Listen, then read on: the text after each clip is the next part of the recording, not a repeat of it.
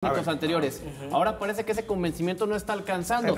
Yo por eso señalo todavía Quiso más a los jugadores que al propio Mira, entrenador. también, es una también- realidad. también quiso poner quieren. disciplina. Acuérdense, ¿no? Sí, forma de hablar. sí, sí. Y, y bueno, a lo mejor en esa disciplina terminó sentando algunos, pisó, pisó callos y ahorita el- el- el- está el tema ahí que, que se ha dividido, ¿no? Y, y por eso Que no se ven gusta entre los cosas, ¿no? jugadores. Pero hablemos claro. del fútbol cancha. O El sea, fútbol esos son cancha no van. táctica. El fútbol cancha, el fútbol. En ese, por eso digo, entremos a un tema de análisis. Hay jugadores que han sido un fracaso total en Guadalajara este torneo. Y le falta calidad Y al yo equipo. incluiría a alguien a quien yo aplaudí mucho el No que torneo pasado. frío en la cima. Ya El no, Pocho ya, ya, Guzmán ya no ha no. caminado este Ya, torneo. señor Flores, ya pasó. pero- Alexis Vega no Eran el mejor equipo y ahora ya. Allá, allá. A ver, ya, pero- ya, ya, lo mismo, ya. Eh, yo creo que el tema de que si los jugadores no han caminado también tiene que ver eh, mucho en lo que ha dejado de hacer Pauno, en sus Otra decisiones. Él siempre A se va con los técnicos. Ah, más gusta apapachar a El los jugadores. Contéstale, Eric, por favor, Apapacha a los contéstale. jugadores. Es que eso es lo que creo. Si, si tú quieres decirme lo que tengo que decir, apúntamelo aquí o sea, antes, eso, apúntamelo, venga, hay tiro, hay apúntamelo tiro, cuando empecemos tiro. el programa y ya aquí lo leo. Claro. Ya. Tiro. O no vengo y lo dices plan, tú. O sea, los jugadores no sí. tienen responsabilidad. Eso es lo que yo creo.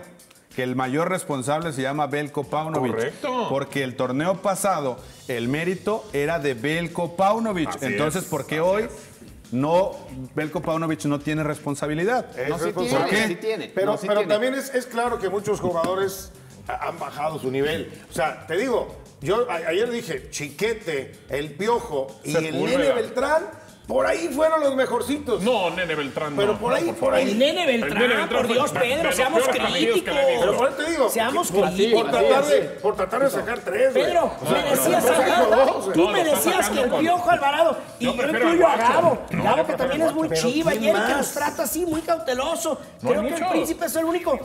Pero nadie puede salvarse cuando pierdes 4-0 con América, claro, por Dios, perdido por nadie. seis. O sea, realmente la verdad es que fue un partido Miren, desastroso. si hubiera estado- Y si golea al Pachuca el fin de semana, ya otra vez Chivas se unió, Chivas no, sufrir no, vez. no, Miren, no somos vamos- porristas como usted. Vamos a ir unos años